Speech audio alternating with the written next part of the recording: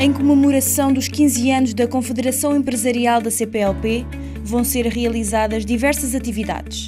A primeira iniciativa decorreu no dia 31 de maio, no almoço onde o convidado de honra, Jaime Nogueira Pinto, abordou o tema África Austral, ameaças e desafios.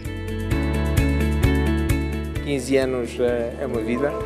mas eh, para a Confederação quero assinalar eh, os seus 15 anos com vários eventos,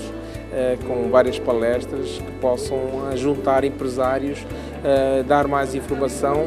colher mais informação, de forma que possamos cultivar-nos a nós sobre aquilo que são os potenciais, das potências e as potencialidades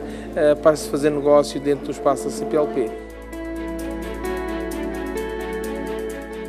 E aqui temos o professor Jaime Nogueira Pinto, que é uma autoridade, se assim podemos dizer,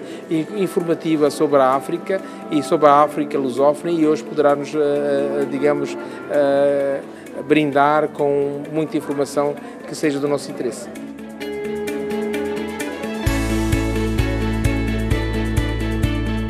A ideia é, é esclarecer um bocado, de certo modo, os, os empresários, as pessoas que têm interesses nestas nesta área da, da CPLP sobre as condições políticas, enfim, o que eu sei essencialmente, conheço bem é a parte política, geopolítica e